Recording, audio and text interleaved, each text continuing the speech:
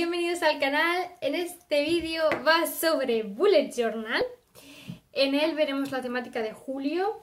Y bueno, es una... es una temática eh, del mar, marinera. O sea, veréis la portada, calendario y la organización semanal.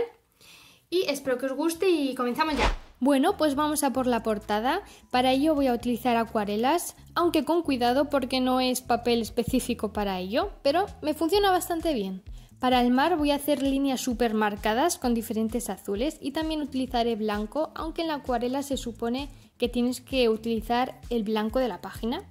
Para el título, eh, rotuladores del Lidl, bien marcadito julio y se acabó. Siguiente página, el calendario mensual bien grandote, procurando que todos los cuadraditos sean iguales. También he dejado un mini espacio para poner los números.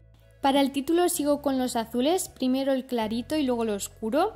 Hago un mini degradado y luego utilizo otra vez el clarito para difuminar la línea que los une. Con el boli Pilot 0.5 escribo julio y lo perfilo un poco con el gris. Sigo decorando el calendario y utilizo los diferentes azules para hacer rayitas a los cuadraditos que me han sobrado. Ahora con un papel decorativo eh, intento hacer unas especies de algas con las tijeras recortando ahí los recovecos. Es una idea bastante sencilla de hacer y queda curioso. Luego simplemente lo pego con pegamento y listo.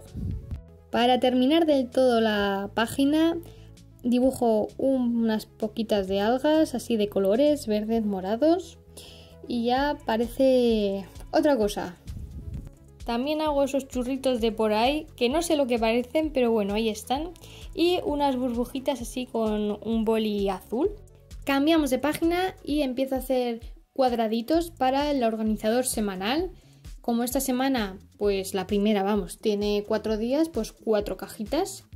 Ahora le empiezo a hacer circulitos con azul también, por si no ha quedado claro que este mes va de azules. Luego hago el banner, así el título para poner primera semana.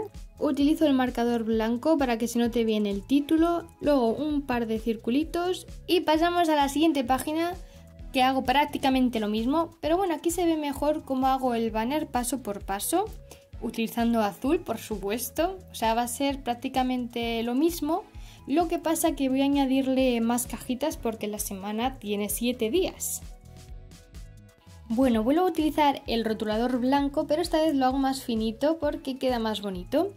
Y hago los cuadraditos mucho más pequeños porque si no no me entran, porque quiero que la tercera semana tenga las dos páginas juntas. Sigo escribiendo los días de la semana, poniendo los puntitos y ahora con el subrayador rosa clarito pues le remarco los bordes a los cuadraditos que así lo resalta más. Añado un par de pegatinas y se acabó. Así ha quedado el Bullet Journal el mes de julio. Espero que os haya gustado, que os hayáis quedado con alguna idea y nos vemos en el próximo vídeo. ¡Hasta luego!